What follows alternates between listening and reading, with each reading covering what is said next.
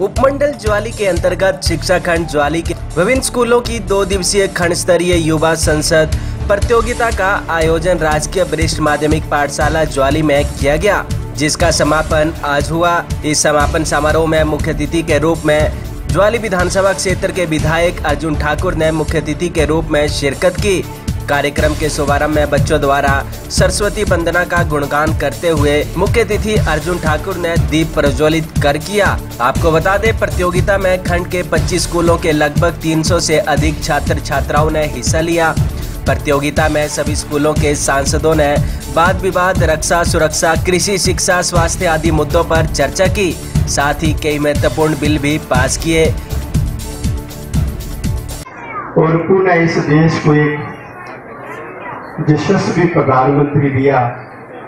इसके लिए मैं आप सबका दिल से धन्यवाद करता हूँ। जहाँ सांसद लगी थी, भाई सुरेश जी मेरे पीछे पड़े थे कि आपने आना है। वैसे मेरा मन नहीं था आने का मैंने सोचा बुलाया है। मेरा जीवन